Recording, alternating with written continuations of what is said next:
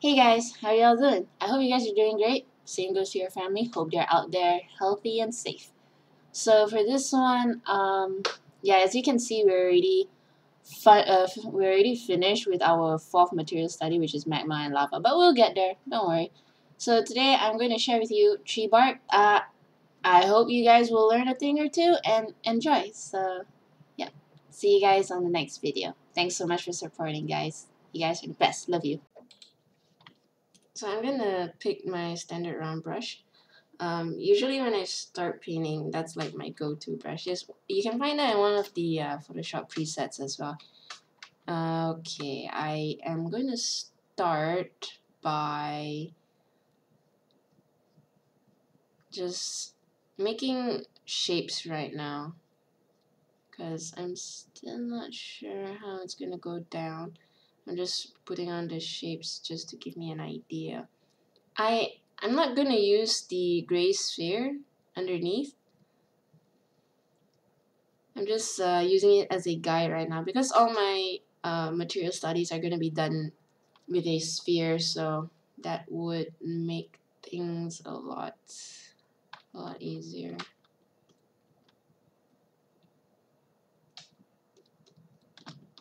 Okay, so this will be the top.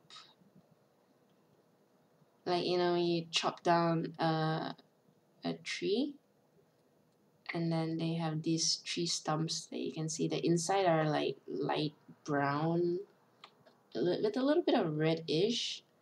Okay, I'm just gonna leave it at that. Uh, the bottom, I'm gonna go for dark gray with a little bit of brown hue, but mostly I'm gonna go with a dark gray. Hmm, let's go to my brush presets. This is uh, the shortcut key for this is F5.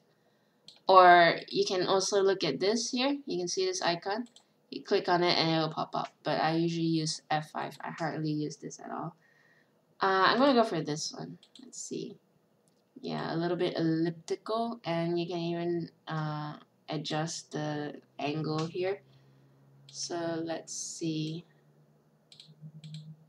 Alright, uh, let's go with a black. I'm just gonna keep the brush presets open for now because I'm not sure. Uh, I can change the angle a little and make it thinner. Okay, um, so you can see this starting to paint on it. Um, I'm trying to make the outline, the bark texture, and maybe make it a little, a little more powerful. This is kind of like a first for me, and I find that really I find this project a little fun and challenging at the same time. So I um in I'm not sure if you watched my video. I I made a video about ten uh, about the things I wish I knew starting out as a self-taught artist, and one of them is um believe it or not, learning the fundamentals. Ding ding ding. Don't hate me, man. Don't hate the player, hate the game. If you want to be good at anything, you gotta at least know the fundamentals. And yeah, um, in terms of texture, I pretty much suck at it. So this is me trying to learn. I've seen, I don't know how I came across this study. Uh, maybe, I think it's DeviantArt, I guess, when you see uh, other people's postings And then I see their postings about this, and then I was like, uh, yeah, okay, that looks really interesting. Like, like some of them are look really good, and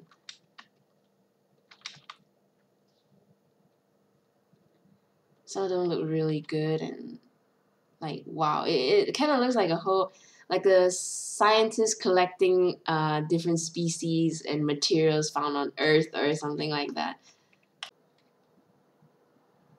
I really like digital art. I like that it is so flexible. I mean, there are some things that you can't do with traditional art, actually. A lot of things you can't do with traditional art.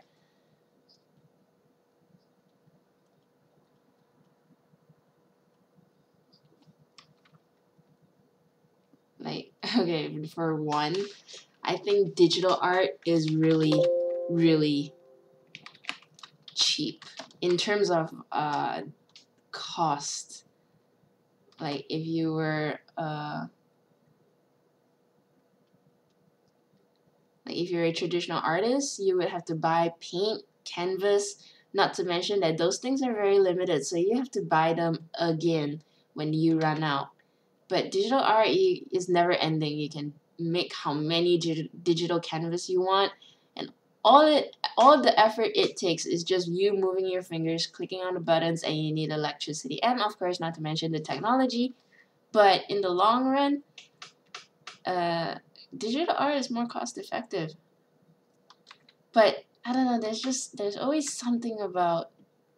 Ah, sorry. I'm just uh, I'm moving on to the lighter parts. Like okay, mm, I'm looking at my reference photo. There's like a lot of this polka dot polka dot effects. Um, nah, I I quite like this little squiggly squiggly design going on.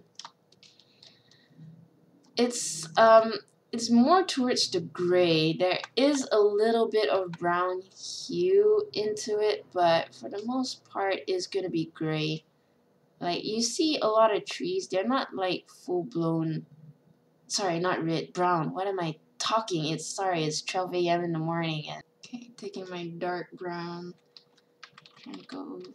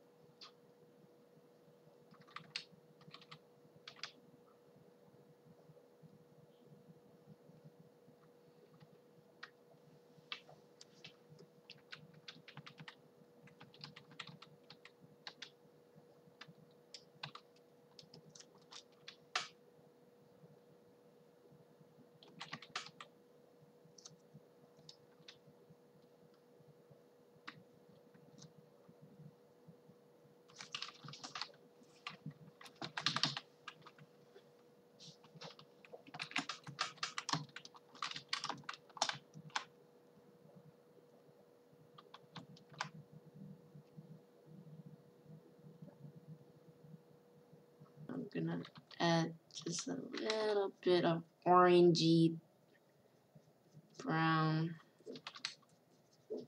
It really looks like a fruit, don't it? Like like some special orange you can get overseas. Or, you know, outside another world, maybe. Okay, I'm gonna use this brown. gonna make a brown uh, okay, let's go for the elliptical brush again. I like it because it's a bit hard. Uh, but it's not too hard like the hard round brush. That one I think it's a bit too much. Okay, this is better. This reddish, rusty brown looks pretty good. Alright, beautiful. Okay, wait. Sorry. I need to go back to the standard round brush. I think, I guess, on second thought, that one looks nicer. Alright. Uh, oops. Yeah, with the orangey brush here. And go a little bit of that. Okay, and uh, some nice, nice uh, outer rim here. Yeah, something like that. This time I have a reference photo, so I'm not gonna screw it up like I did the other time. Uh, this is like uh, the second time I'm doing this because the first one was not very good. Trust me, it was really bad. Okay. Uh, I'm gonna create a new layer, so it's Control Shift N. New layer, I rarely bother to name it. Like, only I know is gonna be a full-on new layer. Not gonna mess with that, then I'll name it. This one I'm definitely gonna merge the layers together, so I don't really care.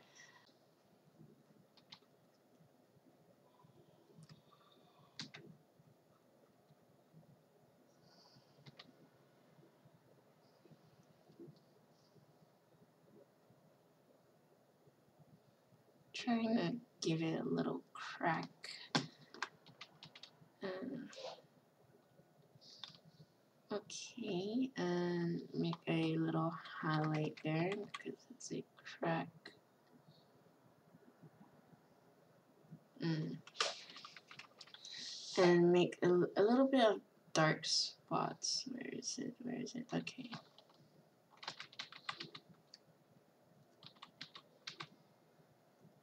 No, no, it's not nice.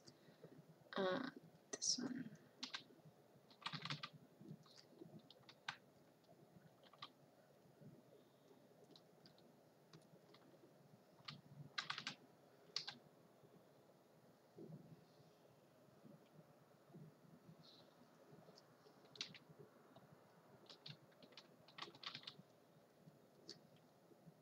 Um, somewhere.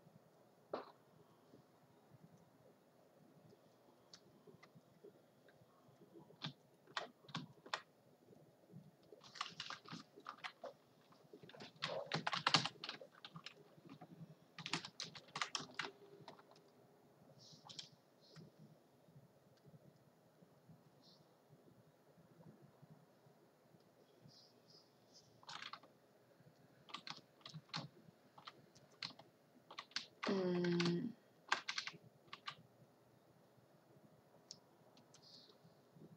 I think here is a bit too dark. Gonna make it slightly not too defined.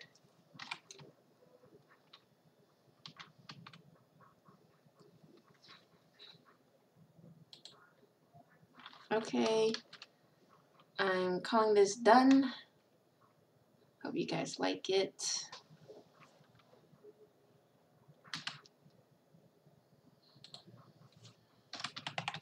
Oops. Get all yellow. Tree bark. Put it over here.